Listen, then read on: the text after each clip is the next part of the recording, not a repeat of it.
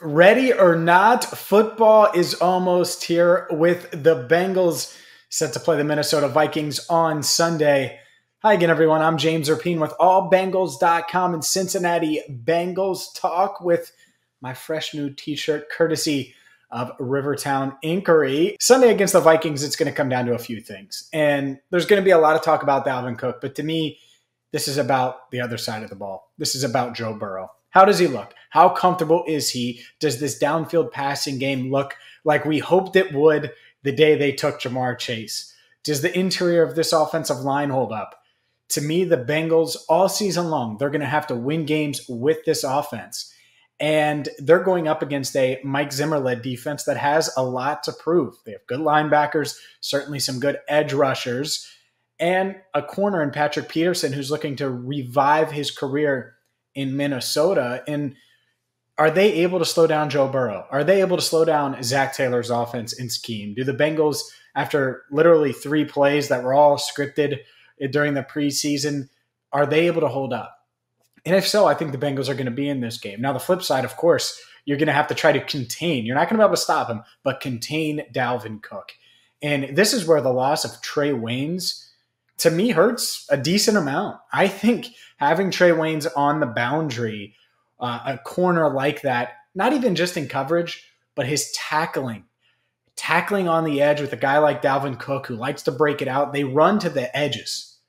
And so there's a lot of outside runs, sort of this wide zone scheme, a little different than the Bengals wide zone, but still, that's what they're going to do with Dalvin Cook. You have to slow him down. And then Justin Jefferson, and Adam Thielen, you know, it's funny looking back at the 2020 draft class. I was really high on Justin Jefferson, and I remember writing for all Bengals about how Justin Jefferson would be great in Cincinnati. And obviously, he didn't fall to the Bengals at 33. They got Tee Higgins, which worked out quite well for Cincinnati, but Minnesota ecstatic that they basically traded Stefon Diggs for Justin Jefferson, who's younger and cheaper over the next few years and have 1,400 yards receiving. Bengals are going to have their hands full and the one thing I could say is if you slow down Cook, you're probably putting Kirk Cousins in third and, you know, medium, third and long, which is something you certainly feel good about. To me, though, when I think about this game, I lean Vikings. I, I just do. I think that the Vikings are going to find a way to win this game. And really, it's a close game. Well, what do we know about Zac Taylor? He hasn't had a lot of success in close games. So call me crazy, call me a party pooper, call me whatever you want. But I think that the Minnesota Vikings are, are going to handle business on Sunday against the Cincinnati Bengals. It'll be close.